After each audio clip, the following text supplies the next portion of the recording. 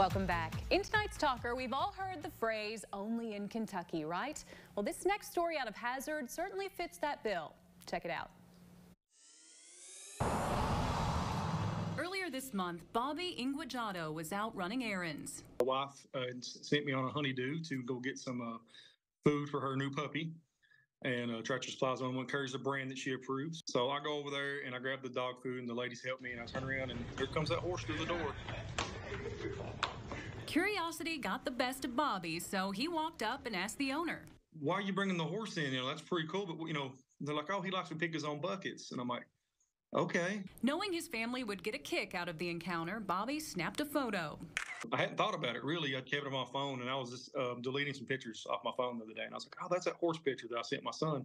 I said, that's a cute picture. So I just put it on Facebook, just something goofy to put on there. Didn't take long for the messages to start pouring in from friends talking about how he was going viral on TikTok. And I was like, well, what's that even mean? So I looked down there, I was like, 2,000 shares. And I looked like an hour later, it's like 2,500 shares. And I think I looked an hour ago and it's like 4,000 shares almost. And I was like, wow. I was like, what is happening with this post? It's going crazy. Knowing how negative social media can be, Bobby was a little anxious to scroll through the comments, but so far, it's all been positive. They were just having a great time with it, and that's really good. It's something positive. There's a lot of negative in the world, so every once in a while I get to see something fun and positive. That's always a good thing, I think.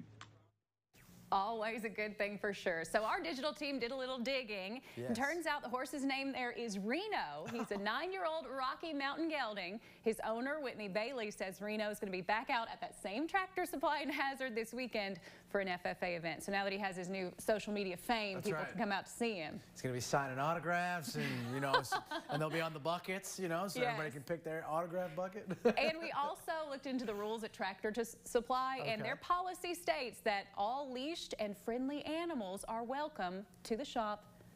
Size does not matter. Size so uh, clearly not in this case. Big old horse walking through. Oh my out. goodness, I've seen That's that all over. Horses are. That's awesome. I mean, That's Kentucky.